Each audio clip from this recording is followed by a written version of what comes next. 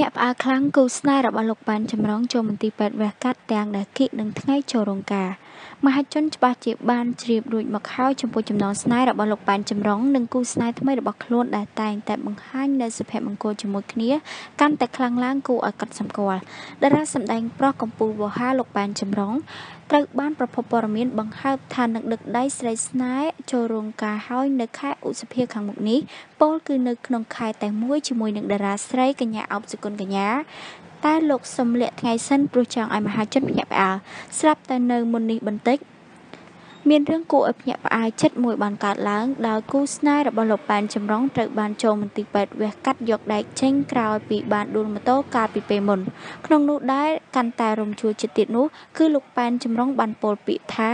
ចេញមកវិញហើយនិយាយខ្សែវខ្សៅបងអើយពេលដកឈឺជាងពេលដាក់ទៀតបងអាណិតឡើងខ្លោចចិត្តហើយតែមិនដឹងជួយយ៉ាងម៉េចទេ ចង់ឲ្យបងកាន់បន្តិចដើម្បីជាកម្លាំងចិត្តស៊ូស៊ូណាបងជឿថាអូនអាចទ្រាំបានតិចទៀតលែងអីហើយណានេះជាការលើកឡើងរបស់លោកប៉ែនចម្រុង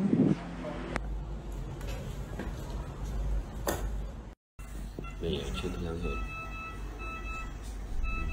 គិតពេលមកឡើយណា